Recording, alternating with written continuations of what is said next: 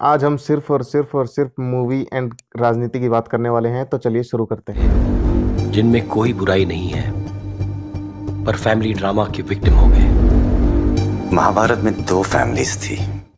नमस्कार दोस्तों, मेरा नाम है बंटी और आप सबका स्वागत है दोस्तों मेरे यूट्यूब चैनल पे। तो दोस्तों, आज हम बात करने वाले हैं द एक्सीडेंटल प्राइम मिनिस्टर जी हाँ दोस्तों, ये फ़िल्म बहुत ही अच्छी राजनीति पर आधारित मूवी होने वाली है। दोस्तों, वीडियो देखने से पहले मेरा चैनल सब्सक्राइब कर दीजिए और बेल आइकन प्रेस कर दीजिए। दोस्तों, आगे बढ़ने से पहले मैं आपको बता दूँ, इस फ़िल्म में डॉक्टर मनमोहन सिंह का किरदार निभाया है। बहुत ही अच्छे कलाकार मिस्टर अनुपम खैर ने। जी हाँ दोस्तों, ये मंजे कलाकार हैं। और उन्होंने इस फ़िल्म में श्री मन, डॉक्टर मनमोहन को बहुत ही अच्छी तरह से कॉपी किया है। उनकी आवाज़ को उनकी वेशभूषा को उनकी चाल ढाल को और उनकी एक्टिंग को। जी हाँ दोस्तों आज हम इसके बारे में बात करने वाले हैं। तो चलिए आगे बढ़ते हैं दोस्तों। सोनिया गांधी जी ने जो फैसला लिया है उस पर आपकी राय क्या है? सोनिया जी मेरी माँ है। बहुत गर्व है उन पर। अगर मैं इस पोजीशन में होता मैं तो नहीं कर पाता। दोस्तों इस फ़िल्म में अहाना कुमरा ने प्रियंका गांधी का किरदार निभाया है, जो कि सोनिया गांधी की बेटी हैं। जी हाँ दोस्तों, इसका, इस फ़िल्म में उनका भी रोल काफ़ी शानदार होने वाला है दोस्तों, और अर्जुन माथुर ने इस फ़िल्म में दोस्तों राहुल गांधी यानी सोनिया गांधी के बेटे का किरदार निभाया है, जो कि राजनीति में अभी थोड़े कच्चे खिलाड़ी लगते हैं मेरे को तो दोस्तों। प्रधानमंत्री पद के लिए मैंने डॉक्टर मनमोहन सिंह को चुना है। दोस्तों, इस फ़िल्म में सोनिया गांधी का किरदार निभाया है सुजैन ब्रेनहर्ट ने। जी हाँ दोस्तों, जो कि काफ़ी अच्छी कलाकारा हैं, जो विदेशी कलाकारा हैं दोस्तों, इसमें बहुत अच्छा किरदार निभाया है। और ट्रेलर देख के आप समझ सकते हैं कि सोनिया गांधी ने किस तरह मनमोहन सिंह को प्रधानमंत्री पद के लिए चुना था दोस्तों। आई मनमोहन सिंह, ईश्वर की शपथ लेता हूँ कि मैं प्रधानमंत्री के रूप में अपने कर्तव्यों का शुद्ध अंतकरण से निर्वहन कर और इस फ़िल्म में डॉक्टर मनमोहन को अपनी शपथ लेते हुए भी दिखाया गया है। दोस्तों जो कि डॉक्टर मनमोहन का किरदार अनुपम खैर जी निभा रहे हैं। दोस्तों इस फ़िल्म में टोटल की टोटल राजनीति नज़र आने वाली है। सौ करोड़ की आबादी वाले देश को ये गिने चुने लोग चलाते ये देश की कहानी लिखते हैं और मैं उनकी कहानी लिखता हूँ।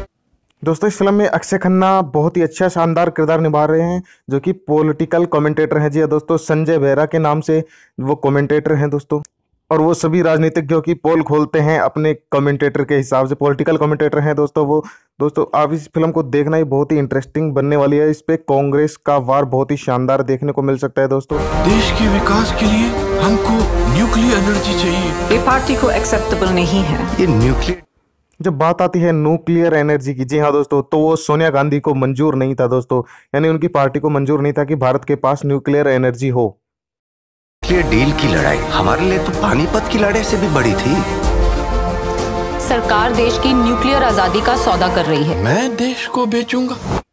इसमें डॉक्टर मनमोहन सिंह को देश को बेचते हुए बताया गया है। जी हाँ दोस्तों इसमें कांग्रेस की पोल खोली जा रही है इस फ़िल्म में और इस, इस मूवी पर कांग्रेसियों ने रोक भी लगाई है। मैं कश्मीर का हल ढूंढना चाहता हूँ। अगर आप पाकिस्तान के साथ शांति का समझौता करेंगे तो नए प्राइम मिनिस्टर क्या करेंगे? जब बात आई दोस्तों भारत पाकिस्तान के समझौते की तो सोनिया गांधी ने मन, डॉक्टर मनमोहन सिंह को बोला कि समझौता अगर हम ही कर लेंगे तो आने वाले जो प्राइम मिनिस्टर है वो क्या करेंगे दोस्तों? इनको दोस्तों कश्मीर समस्या का हल नहीं ढूंढना था इन्हें तो सिर्फ़ राजनीति और राजनीति नीति से मतलब था दोस्तों क्योंकि कांग्रेस जो थी है पूरी दिल्ली के दरबार में एक ही तो खबर थी कि डॉक्टर साहब को कुर्सी से कब हटाएँगे और कब पार्टी राहुल जी का अभिषेक करेगी। डॉक्टर मनमोहन सिंह को प्रधानमंत्री बनाने के बाद सोनिया गांधी ने सोचा कि अपना बेटा राहुल तो रह ही गया। इसके लिए उन्होंने दोस्तों मनमोहन सिंह को कुर्सी से हटाने के लिए खूब प्रयास किए लेकिन दोस्तों वो हट नहीं पाए और ना ही उनके बेटे राहुल गांधी अभी तक प्रधानमंत्री बन पाए। मैं रिजाइन करना चाहता हूँ। एक के बाद दूसरा करप्शन स्कैंडल इस माहौल में राहुल कैसे टेक ओवर कर सकता है? और जब सोनिया गांधी ने दोस्तों डॉक्टर मनमोहन सिंह को घुटने टेकने पर मजबूर कर दिया, तब उन्होंने बोला कि अभी एकदम से ये सब कुछ नहीं हो सकता, राहुल टेक ओवर नहीं कर सकता। देखिए दोस्तों, सोनिया गांधी इसमें कितनी गंदी राजनीति करती हुई नज़र आ रही हैं। वो सिर्फ़ अपने बेटे और बेटी और खुद के लिए, खुद के भविष्य को सोच रही है, ना कि देश के भविष्य को। तो दोस्तों, इस फ़िल्म पर कांग्रेस की पार्टी ने भी रोक बैन लगाने की कोशिश की। इसके लिए दोस्तों उन्होंने अनुपम खेर का इंटरव्यू भी लिया था। आप वो इंटरव्यू देख सकते हैं दोस्तों। अभी मैं अभी आपके सामने इंटरव्यू प्ले करने वाला हूँ दोस्तों। हमने फ़िल्म बनाई है। बाकायदा इसको संवैधानिक तरीके से इसको सेंसर बोर्ड से सेंसर सर्टिफिकेट मिला है। ट्रेलर का भी और फ़िल्म का भी। उसके बाद ही हमने कोई भी पब्लिसिटी शुरू की है ऑफिशियल तरीके से। तो उनको बोलने दीजिए। अगर वो सोचते हैं कि उनकी जो संस्था है या उनकी पॉलिटिकल पार्टी है, वो सेंसर से बड़ी है, कानून से बड़ी है तो इसका फैसला भी कानून करेगा या इसका फैसला भी उनके अध्यक्ष करेंगे?